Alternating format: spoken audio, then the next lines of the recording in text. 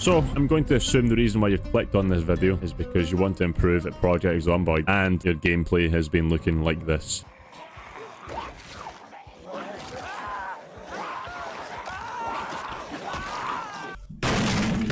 This is top 10 tips to improve your Project Zomboid gameplay. Tip number 1. Play the tutorial. This tutorial takes roughly around 5 minutes to complete. It just shows you the basics of Project Zomboid.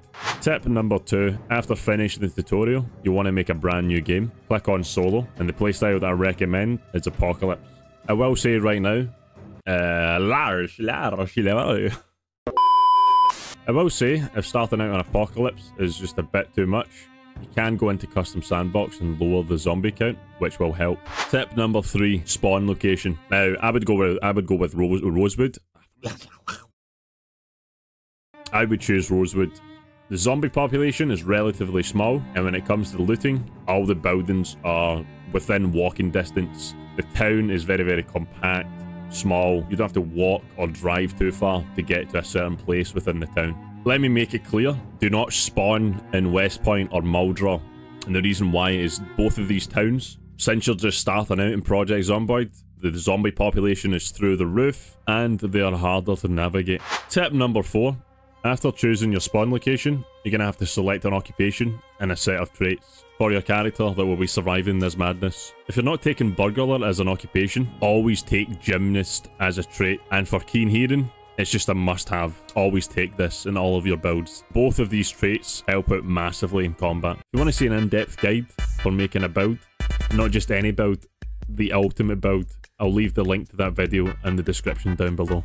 Also, while I'm here on the channel, if you haven't subbed already, make sure to sub. It Would be a massive help trying to get 1000 subs. Anyway, back to the video. Tip number 5. Just before you start to run off and explore the amazing world of Project Zomboid, press the pause button. Click on options and you're looking for ISO cursor visibility. Now by default, I think this is on 15%. And the difference between 15% and 75, which is the max you can go to, is, is, is big. Tip number 6. Now, depending on where you spawned in Rosewood, make the starting house that you spawn in your base location. Kill all the zombies in the surrounding area, make sure it's safe and secure, and bring all the loot back to this starting house.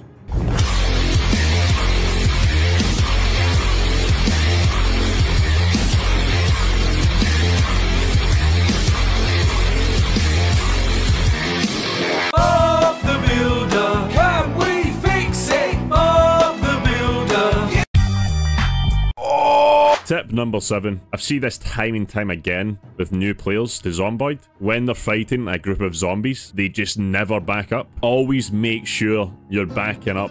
Tip number eight. This might seem like an obvious one. When in combat, make sure you're zoomed in. This clip right here, I'm zoomed all the way out and you can barely see what's going on. Tip number nine. Don't full on sprint, reserve your stamina. You can just outwalk the zombies. Sometimes it's okay to jog it just depends on the situation. You're very rarely going to have to jog. Tip number 10. The helicopter event can arrive during either day 6, 7, 8 or 9 and it will come between the hours of 9am and 7pm. If you think you're safe inside your base, I'm sorry to tell you, you're not.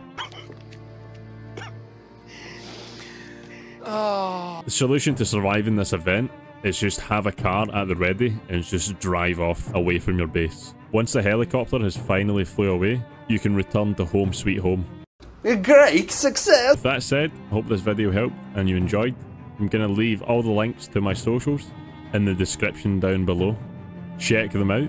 And most importantly, don't forget to like, subscribe, comment, share, and I'll catch you in the next one. Goodbye.